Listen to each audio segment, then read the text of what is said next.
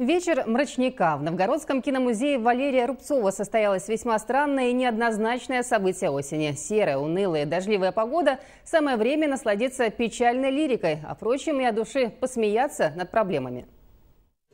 Ежик по лесу неспешно идет, набравший на зиму веса.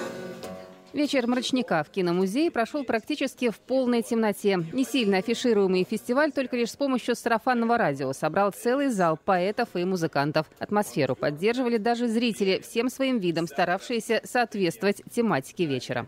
Этот вечер э, скорее не для того, чтобы совсем уж да, уйти в, в депрессию, скажем так. Это скорее э, попытка посмеяться над этим.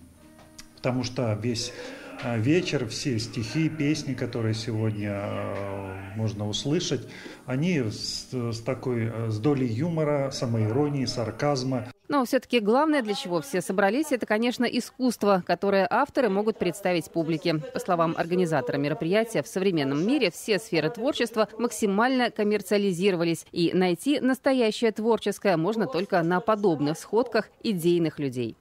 А мы за искусство, которое не коммерции, не всего этого, то есть мы за искусство, которое бьет по человеку. Чтобы человек пришел, послушал нас и был шокирован тем, что есть другое искусство. То есть это как раньше, как тот же самый Летов, он же подпольно выступал, потом у него были концерты. В будущем Александр планирует расширить границы фестиваля, сделать его регулярным и проводить на разных площадках. Единственное, что для этого нужно – талантливые люди, жаждущие выступать, и зрители, жаждущие зрелищ. Судя по первому опыту, недостатка в них точно не будет.